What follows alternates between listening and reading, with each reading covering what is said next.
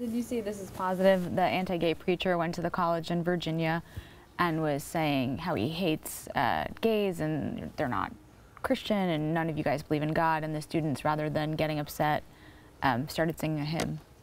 I love that.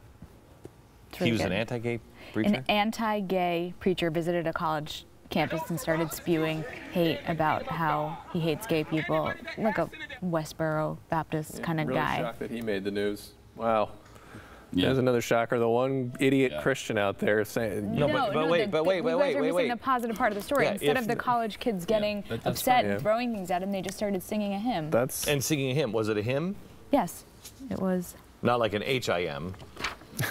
not like an wasn't- HIM. no, it was a Wasn't Christian. Jay-Z. It was a It wasn't, Christian. it wasn't like it wasn't like Rupert. What was it, guy's It's a? Christian Rupert song Hymn? by David Crowder.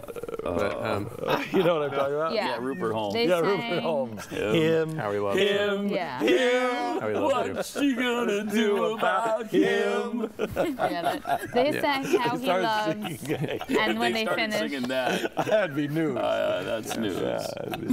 fine. So Next time he comes on, they're gonna sing Escape. the- the Anyway, you always say you want to spread stories of love, and then we do, and you make fun of them. No, I'm not making fun of it. I'm just. I think they're great. More making fun of Rupert. I'm making fun of it. I'm making fun of it. A of little it. bit. Anyway, cool story. Very cool. That's really cool.